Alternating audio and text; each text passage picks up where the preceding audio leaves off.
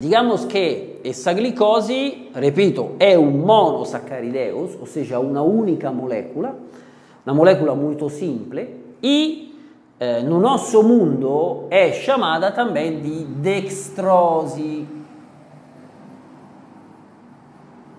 A dextrose, gente, é a mesma idêntica coisa, ou seja, a nível molecular são a mesma idêntica coisa, só que uma é chamada glicose outra dextrose, por quê? Porque Ehm, digamos, na luz polar, essa molécula vira adereita, por isso chama dextrose. Mas a nível molecular, digamos que quimicamente não tem nenhuma diferença entre uma e outra.